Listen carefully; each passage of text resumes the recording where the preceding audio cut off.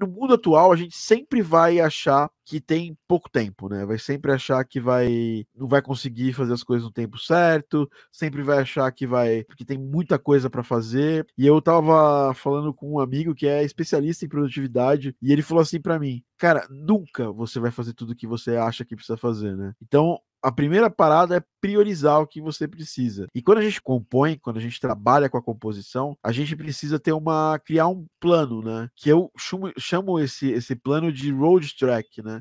Você precisa criar o road track da, do, do, projeto, né, da música, né? E o road track da música basicamente é o quê? É você definir para qual tipo de jogo é a música, quais são as referências que você tem, que você recebeu. Se você não recebeu referências, você vai lá e, e conversa com alguém, é, busca referências, pergunta mais para quem desenvolveu o jogo, define ali basicamente o tempo que você quer fazer durar, quer fazer essa música durar, trabalha em cima de uma ideia de composição, ou seja, já sabe mais ou menos os instrumentos que você vai usar. Todo mundo co costuma falar isso aqui, inclusive não sou a única pessoa. O Christian Hansen da Spitfire fala isso bastante, que a última coisa que você tem que fazer quando você vai compor uma música é sentar e começar a compor. Você tem que sempre se planejar para fazer isso, para fazer isso melhor. A gente tem essa questão de criar hábitos de planejamento para botar a mão na massa.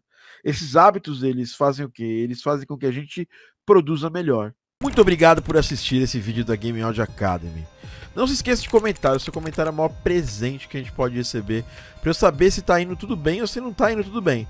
Se puder também avalia, né? E nem de ver os vídeos estão aparecendo aí na tela para você com mais conteúdo sobre áudio para games. Espero que você tenha gostado e até o próximo vídeo.